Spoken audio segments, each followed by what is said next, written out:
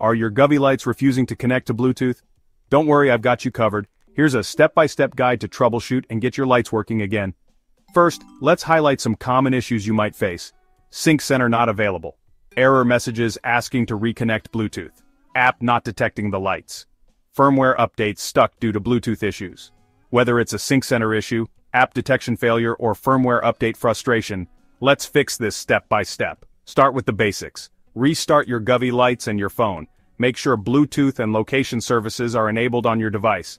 Next, try these reset methods. Power cycle your Govee lights by turning them off and on five times. Be quick and consistent. Perform a hard reset by holding the power button and pressing the middle button four times.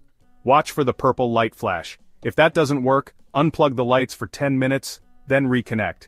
If resets don't work, try enabling airplane mode for 30 seconds, or use another phone to connect. Don't forget to grant location permissions to the Govee app. Make sure your phone's energy-saving mode is off, as it may disable GPS needed for Bluetooth. If Bluetooth isn't working, connect the lights via Wi-Fi. Once Bluetooth is restored, you can update your firmware. If these steps don't solve the issue, it might be time to contact Govee support. Persistent problems could mean a hardware defect. And there you go, your Govee lights should now be back in action. If this helped, don't forget to like, share, and subscribe for more troubleshooting tips. Subscribe for more tech tips and solutions.